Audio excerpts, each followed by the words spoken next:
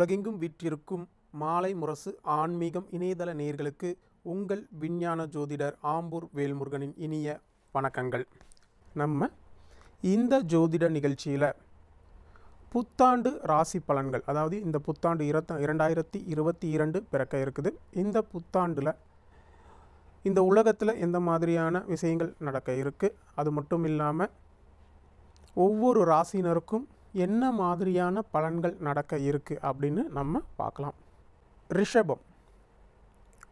பொதுவாகவே இந்த ரிஷப ராசிக்காரங்க மிகுந்த பொறுமையும் அன்பும் கருணையும் மிக்கவர்களாக இருப்பாங்க.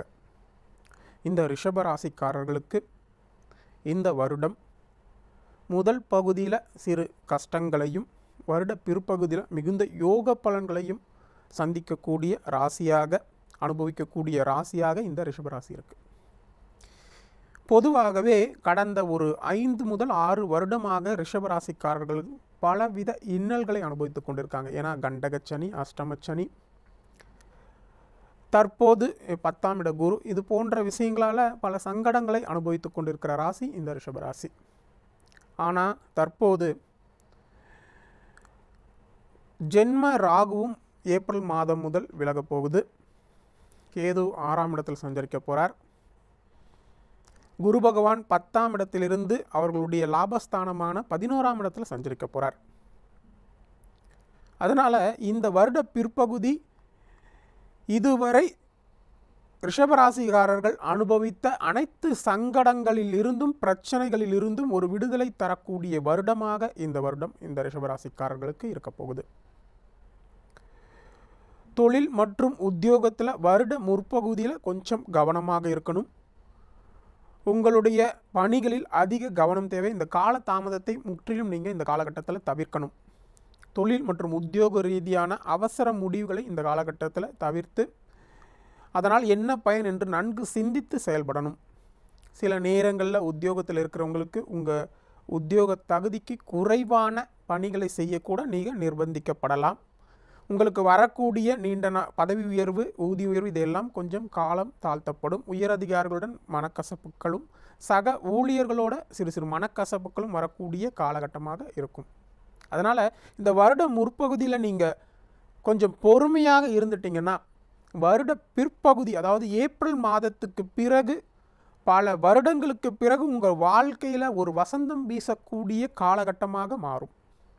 பதினோராம் இடத்துல குரு பகவானின் சஞ்சாரம் உங்களுக்கு வரும் பொழுது நீங்கள் எடுக்கக்கூடிய காரியங்கள் முயற்சிகள் அனைத்திலும் உங்களுக்கு வெற்றி கிடைக்கும். உங்களுடைய நீண்ட நாள் ஆசைகள் கனவுகள் எல்லாமே நிறைவேறும். பண வரவு அதிகரிக்கக்கூடிய காலகட்டமாக இருக்கும். புதிய வாய்ப்புகள் எல்லாம் உங்களை தேடி வரும்.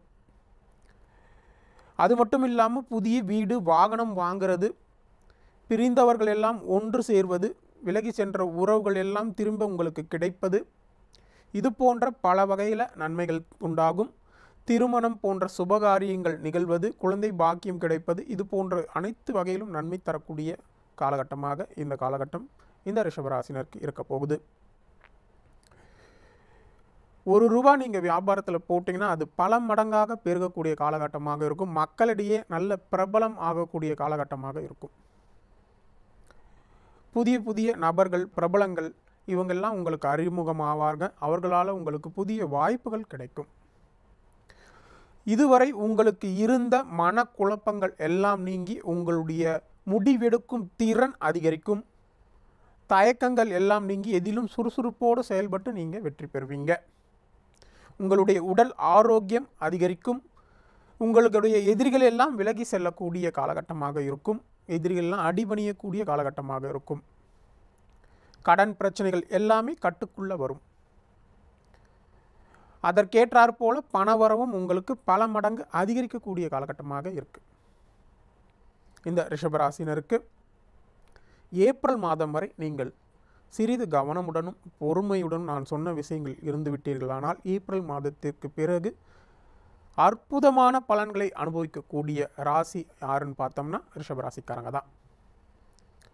இந்த ரிஷபராசிக்காரர்களுக்கு வியாபாரத்தில் இருக்கிறவங்களுக்கு வருட முற்பகுதியில் சிறு சிறு பிரச்சனைகள் இருந்தாலும் வருட பிற்பகுதியில் அபரிமிதமான லாபங்கள் புதிய தொழில் முயற்சிகள் கூட்டாளிகளால் ஆதாயம் இது மாதிரியான விஷயங்கள் எல்லாமே சாதகமாக இருக்கும் லாபம் அதிகரிக்கும். உத்தியோகத்தில் இருக்கிறவங்களுக்கு இந்த காலகட்டத்தில் வருட முற்பகுதியில் உத்தியோகத்தில் சிறு சிறு பிரச்சனைகள் சங்கடங்கள் உயரதிகாரிகள் மற்றும் சக ஊழியர்களோட பிரச்சனைகள் இது போன்ற விஷயங்கள் இருந்தாலும் வருட பிற்பகுதியில் ஏப்ரல் மாதத்துக்கு பிறகு அனைத்தும் உங்களுக்கு சாதகமாக மாறும்.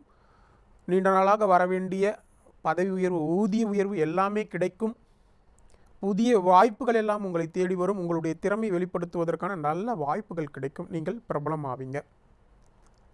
அடுத்து அரசியல்வாதிகளுக்கு வருட முற்பகுதியில் உங்களை பற்றிய தவறான வதந்திகள் பரவும் உங்களுடைய செல்வாக்கு பாதிக்கும் மக்களை அணுகும் பொழுது மிகவும் கவனமாக இருக்க வேண்டியது அவசியம்.